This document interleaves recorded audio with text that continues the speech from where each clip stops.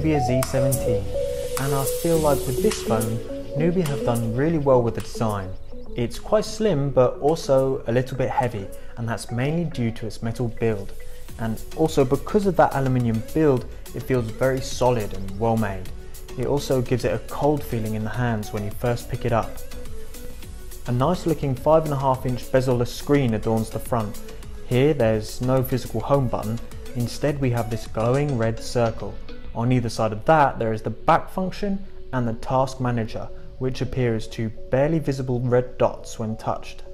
On both the corners and the edges they haven't gone with the much more rounded and curved appeal of say the Samsung Galaxy series and even compared to recent big name smartphones such as the Xiaomi Mi 6 the overall look of the Nubia is much more rectangular.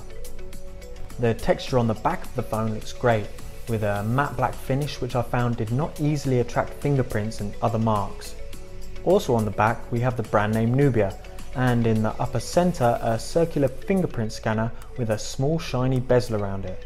Overall it fits in very well with the design of the phone. Another thing I like is that they've kept the lettering of the company name at the bottom very small, whereas the red outline surrounding the dual rear cameras makes them stand out in an eye-pleasing way. Noticeably missing from this phone is an audio jack, so Nubia have provided a USB-C to 3.5mm socket converter. Also in the box you get the typical array of manuals, a charger and a nice looking red USB cable with a rubber tie fixed on. In terms of phone colour, there's a decent amount of choice here since you can choose between blue, red, black, gold or black with gold. The 1080p Full HD screen shows a good degree of colour contrast and sharpness. It's large enough to watch videos and play games on comfortably and here you can see the sort of quality you can expect from the Z17's display. Internally, you have the choice between a 6GB RAM, 64GB internal storage version or 8GB of RAM with 128GB of storage. Either way, there's plenty of storage for the typical user.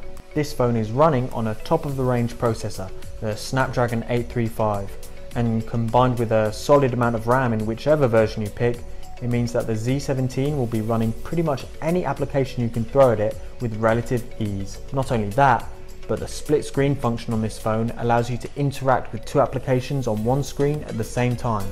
In addition to that, there's also the app clone feature pre-installed on the phone, which allows you to log into two separate accounts on one app from the same device. It's got dual SIM card capability and a decently sized 3200 mAh battery, which should keep you going with it for over a day on a full charge. As far as photo taking, there's a 16 megapixel front camera and a 12 megapixel and 23 megapixel camera on the back, sitting alongside a dual tone LED flash. The camera app offers a multitude of options for utilising these cameras, which is something I might explore in future videos. These photos are just a small example of the type of detail that can be captured using the Z17's rear cameras.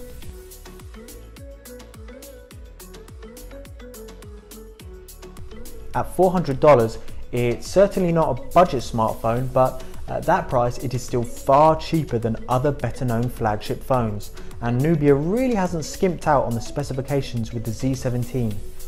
I'd recommend it for someone who doesn't quite feel like splashing out on those other flagships but still wants a top of the range phone with a smart design. If you'd like to see another video about either the photos or the performance and gaming capability of the Nubia Z17, then hit me up in the comments section below. If you'd like to get a hold of this phone for yourself, then simply follow the link in the description. Thanks for watching.